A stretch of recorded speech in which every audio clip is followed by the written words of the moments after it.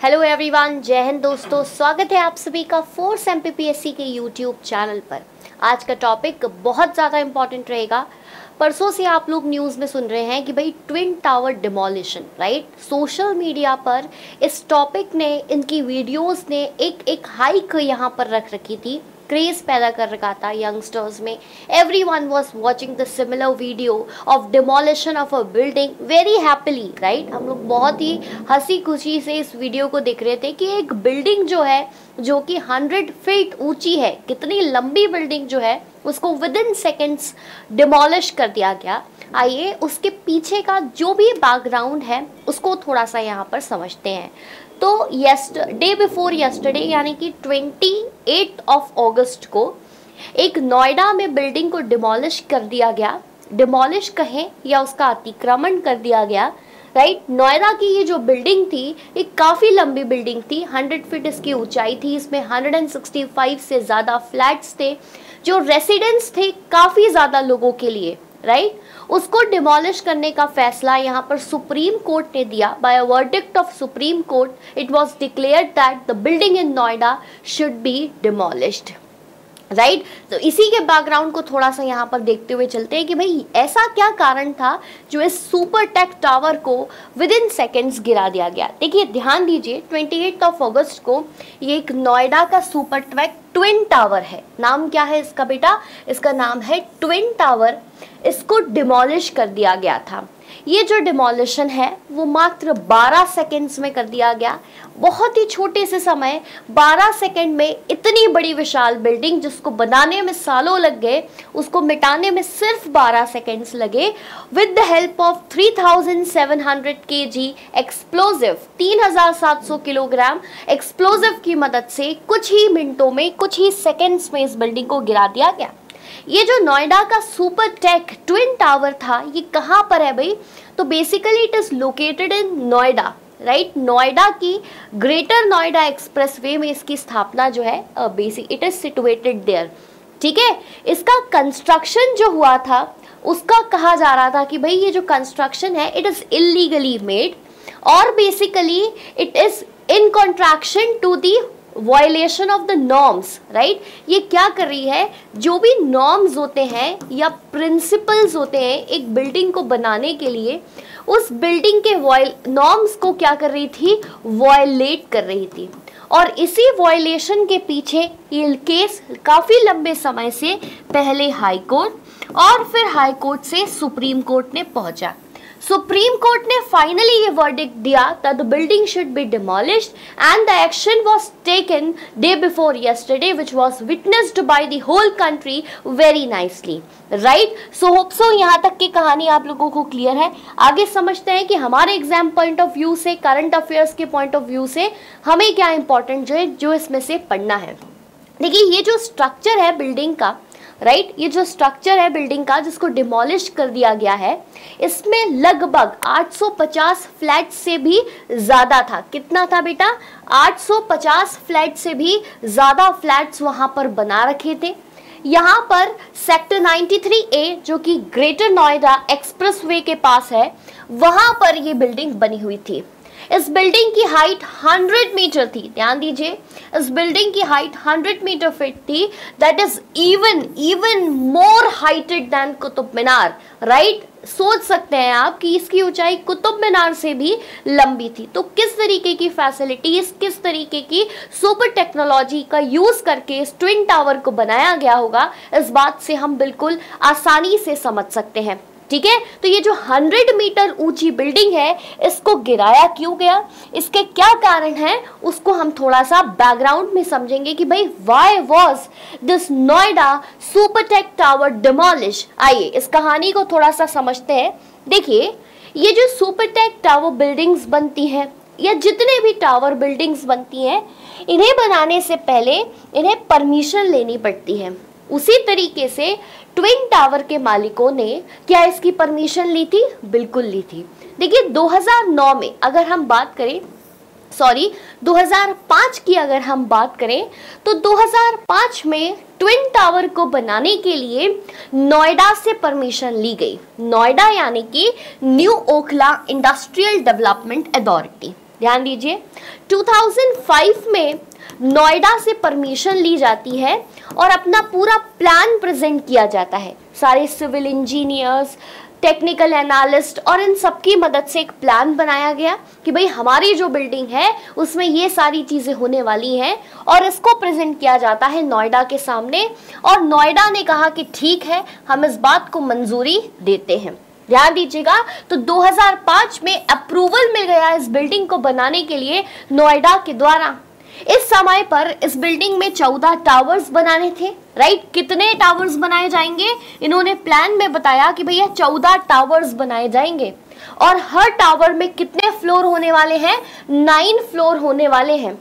हर tower में एक shopping complex रहेगा, हर टावर में पार्किंग एरिया रहेगा, हर टावर में गार्डन एरिया रहेगा। ऐसे कुछ प्लान्स ट्विन टावर की अप्रूव्ड हो चुके थे राइट कि कब अप्रूव्ड हो चुके थे? 2005 में अप्रूव्ड हो चुके थे नोएडा, यानी कि new Okhla industrial development authority के द्वारा राइट right? हो गई भाई कहानी क्लियर अब 2005 के बाद, थोड़े समय बाद, चार साल बाद इनके प्लान्स में कुछ चेंजेस आए। राइट इनके प्लान्स में जब 2009 में कुछ चेंजेस आते हैं तो इन्होंने फिर से इस प्रोजेक्ट को राइट? इस प्रोजेक्ट को नोएडा के सामने रखा। क्या करा बेटा? इस प्रोजेक्ट को वापस से नोएडा के सामने रखा कि भाई, हम इसमें कुछ और हाई राइज बिल्डिंग्स भी जोड़ना चाहते हैं। बेसिकली हम ट्विन टावर की हाइट बढ़ाना चाहते थे। राइट? इन्होंने कहा कि हम इसमें एपेक्स और सीएन ऐसी कुछ हाइटेड बिल्डिंग्स ऊपर की तरफ़ और जोड़ना चाहते हैं।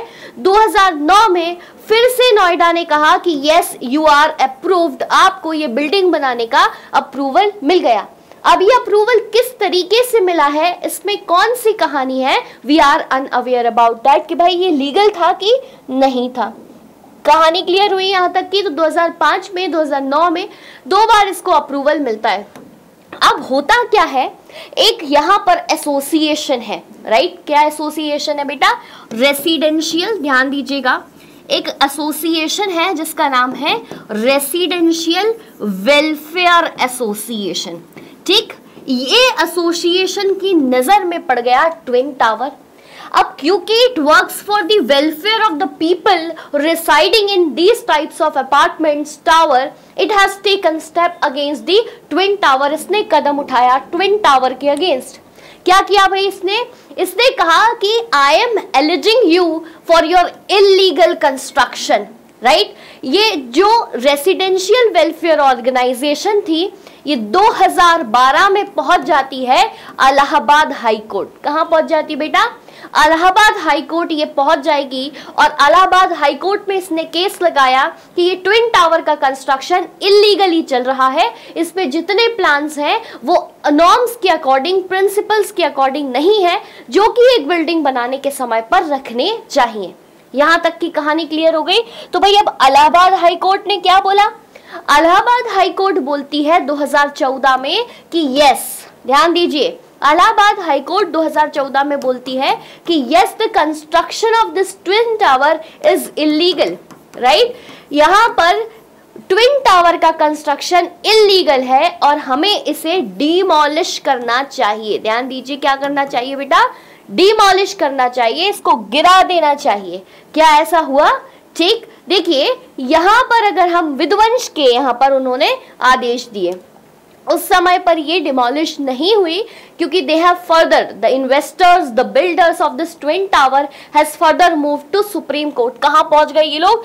सुप्रीम कोर्ट पहुँच गए। अब जब सुप्रीम कोर्ट पहुँचे तो समय लगा, लेकिन finally we got the decision that the twin tower should be demolish on August 31 2021 ठीक है इकतीस अगस्त 2021 को एपेक्स कोर्ट यानी कि सुप्रीम कोर्ट ने कहा कि भैया, जो अलाहाबाद का हाई कोर्ट है, उसकी सुनवाई बिल्कुल सही थी और yes it should be demolish the twin tower should be demolished और ये एक्शन कब लिया गया है? ये एक्शन परसों लिया गया है, जिसमें 12 सेकेंड में 3700 किलो के एक्सप्लोजिव का उपयोग करके इस बिल्डिंग को मात्र सेकेंड्स में गिरा दिया गया, जिसका कंस्ट्रक्शन का प्लान 2005 से चल रहा था। Right right? अब ये तो गिर गई building not important for our exam perspective लेकिन हमारे एग्ज़ाम परस्पेक्टिव से जो इंपॉर्टेंट है, वो है इसके आगे वाली कहानी। राइट वॉट इज़ रेरा देखिए थोड़ा सा कंटेंट को ध्यान से समझिएगा।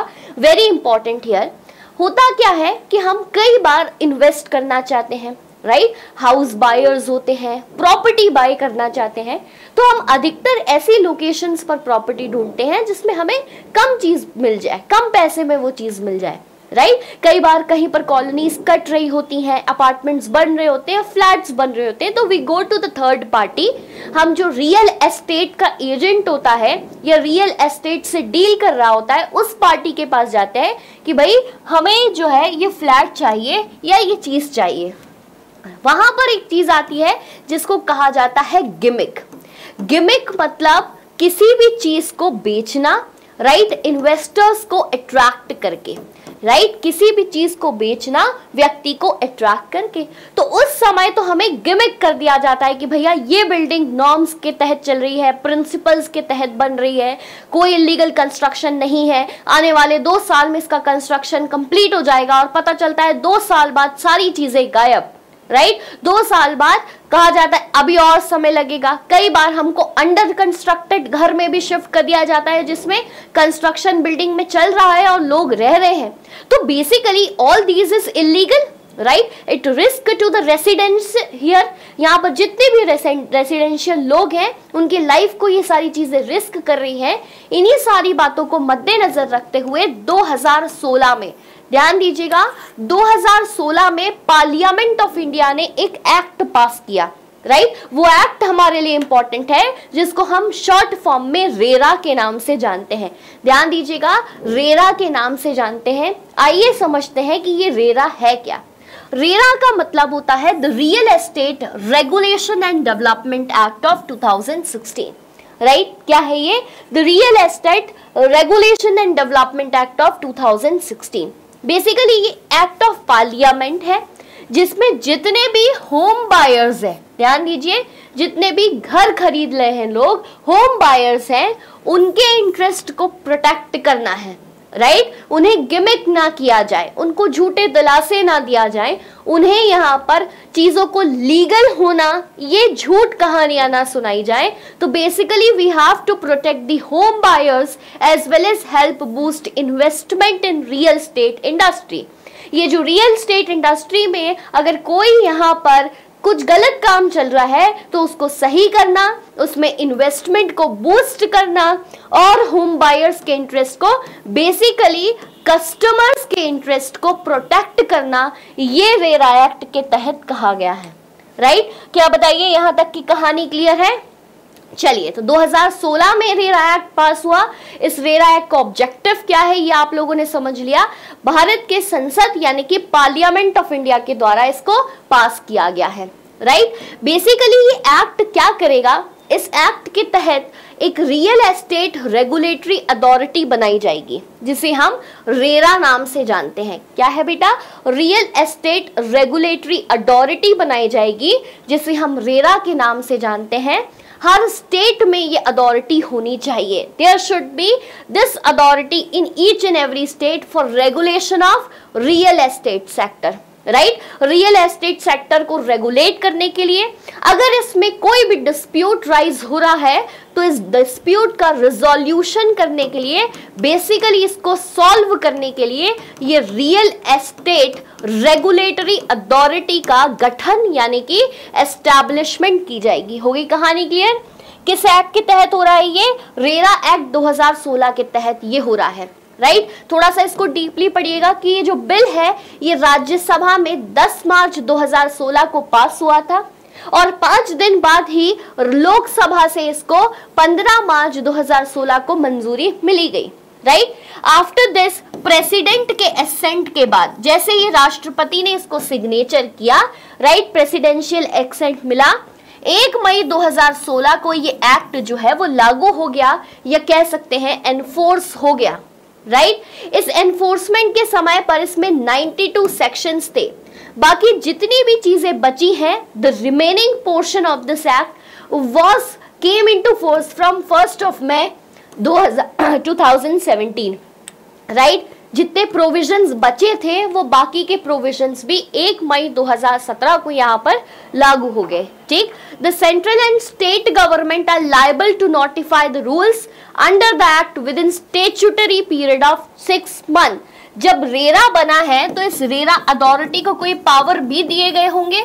Right right? अगर कोई भी ऐसा इश्यू होता है, कोई भी ऐसा डिस्प्यूट होता है तो सेंटर और स्टेट गवर्नमेंट राइट छह महीने के अंतर्गत उस इशू को रेरा के पास ले जाएगी ताकि इस डिस्प्यूट का रिजोल्यूशन हो पाए, इसका सोल्यूशन निकल पाए right this is the point here और ये हमारी कहानी थी रेरा से संबंधित। तो ट्विन टावर डिमोलिशन के बारे में जितनी जानकारी यहाँ प्रोवाइड की जा सकती थी, सारी बातें प्रोवाइड की जा सकी हैं। इसी तरीके के एक्ट्स के लिए और नए करंट अफेयर्स के लिए जुड़े रहिए force M P YouTube channel पर। धन्यवाद, जय हिंद।